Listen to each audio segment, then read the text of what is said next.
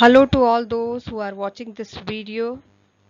This is a video for the students of class 10th and subject is science. So this is chapter number 16. The topic is from chapter number 16. Okay, 1 6. So uh, waterfall all. In this we will study about the dams and management of water. Okay, and to some extent uh, management of natural resources. So begin with this.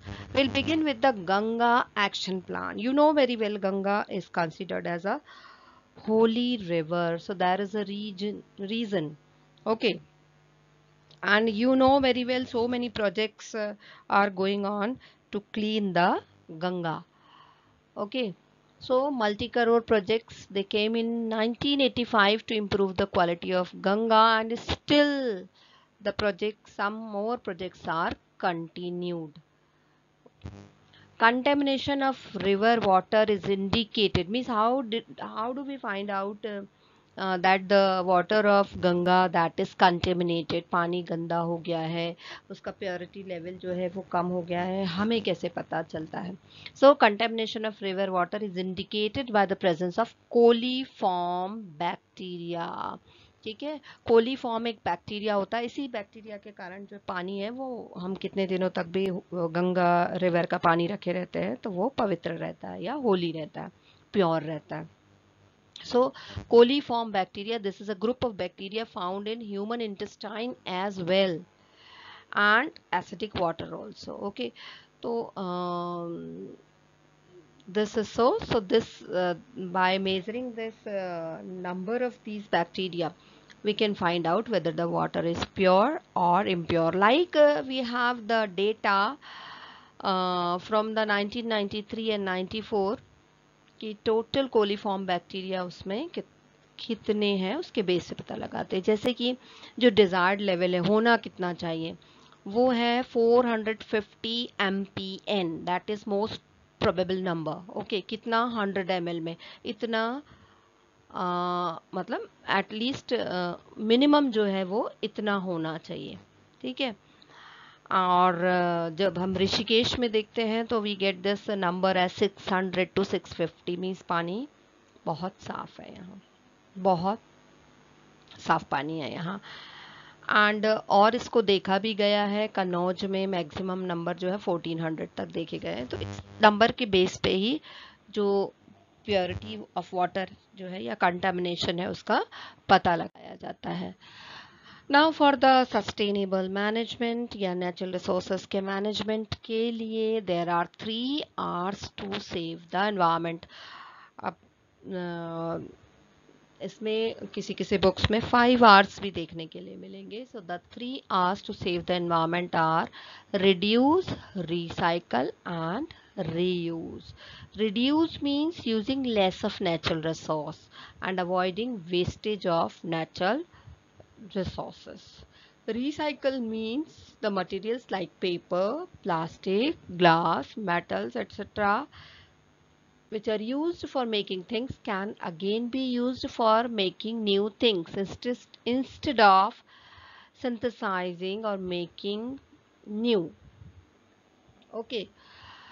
Reuse means using things again and again like the plastic bottles in which we buy jams, pickles, etc. These bottles can be again used for storing things in the kitchen. Okay okay, इससे हमारी demand जो है वो कम हो जाएगी so we must be careful about the effect our choices of living make on the environment okay Economic development is linked to the environmental development thus sustainable development is very important हमें अपनी ज़रूरतों को या greediness को fulfil uh, करने के लिए हम इन्वायरमेंट की कॉस्ट पे उसको फुलफिल नहीं कर सकते सस्टेनेबल मैनेजमेंट होता क्या है the management of resources wisely to make them available for future generation means management को वाइजली जो भी रिसोर्सेज हैं वाइजली यूज़ करना सो so दैट वो आने वाली जनरेशन के लिए भी अवेलेबल रहे। मतलब we have to think of long term perspective now water as resource. You know, water is a basic necessity for all terrestrial forms of life. Regions of water scarcity are closely related to the regions of acute poverty ठीक है पानी ही नहीं होगा तो life भी कैसे होगी irrigation कैसे होगा हम क्रॉप्स को कैसे ग्रो करेंगे okay so many things are related with this Failure to sustain water availability has resulted in loss of vegetation cover. यदि लगातार पानी नहीं मिलेगा तो धीरे धीरे उस जगह के सारे पौधे जो है वो खत्म हो जाएँगे। Diversion of high water demanding crops and pollution from industries and urban waste and less rain ये बहुत सारे कारण हैं जो मीन्स डिस्ट्रक्शन करते हैं या बहुत सारी जगह पे प्रोडक्शन जो है वो रिड्यूस होता है। Irrigation methods like dams tanks should be used in various parts of India you know this is present scenario कि हम irrigation के लिए dams को अभी dams पढ़ेंगे इसके next slide में तो dams जो है वो canals होती हैं बड़े बड़े water tanks हैं ओके okay? इनको यूज़ किया जाता है so that water can be made available तो डैम्स के एडवांटेजेस क्या हैं? एडवांटेजेस की बात कर रहे हैं, इसका मतलब इसके डिसएडवांटेजेस भी हैं। तो वाटर जो है water from a dam it can be use for irrigation field के इरिगेशन के लिए भी यूज़ हो सकता है और वहाँ से बहुत सारी कैनाल्स बनाई जा सकती हैं और उन एरियाज़ तक कैनाल्स को ले जाया जा सकता है जहाँ पर पानी नहीं है, जहाँ बारिश भी नहीं होता है, वहाँ तक कैनाल्स को पहुँचाया जा सकता है, वहाँ तक बनाया कंस्ट्रक्ट किया जा सकता है और उसके थ्रू पानी को पहुँचाया जा सकता है। And these dams they ensure round the year water supply to the crop fields and help raise agriculture production means कि जो ये डैम्स में जो पानी होता है, इस पानी के कारण हम बारिश पर निर्भर नहीं हैं रेन पर निर्भर नहीं है, और हमको 12 महीने थ्रू आउट द ईयर पानी अवेलेबल होगा। ओके ये इंश्योरिटी देता है और हमारा प्रोडक्शन भी अच्छा होगा। And water from a dam is supplied to the people in towns and cities जो शहरों में रहते हैं जहाँ पानी के बहुत सारे सोर्सेस नहीं हैं वहाँ पर भी इन डैम्स का पानी जो है पाइपलाइंस के थ्रू आफ्टर सूटेबल ट्रीटमेंट के बाद भेजा जा सकता है। सो so, डैम्स जो हैं वो कंटिन्यूस वाटर सप्लाई को अवेलेबल uh, कराते हैं।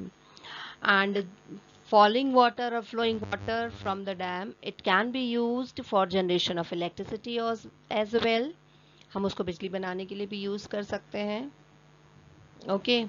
और उसमें हम पिसिकल्चर भी कर सकते हैं उस पानी में okay so these are the advantages but disadvantages so there are so many types of problems they are categorized like social problems जब हम डैम्स बनाते हैं तो बहुत सारे वहाँ जो लोग रहते हैं विलेज में जहाँ डैम बन रहा है, उसके नियर बाय विलेज में जो बहुत सारे लोग रहते हैं, क्योंकि वो आसपास का एरिया जो है वो तो पानी में डूब जाएगा तो उन पीपल को वहाँ से जो है शिफ्ट करना होता है ओके तो उनका लैंड भी चला जाता है तो this creates a social problem और environmental problems if we talk of so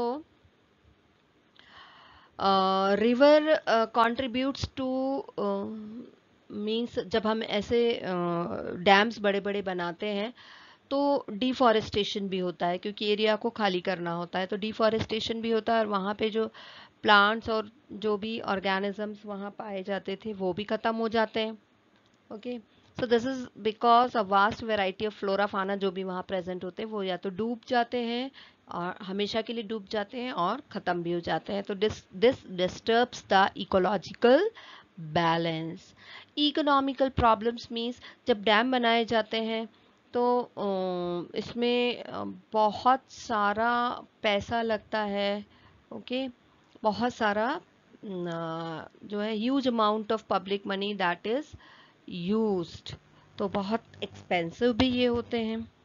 okay? और बहुत सारी प्रॉब्लम्स हैं इनके अलावा भी। So these are the basic problems thank you so much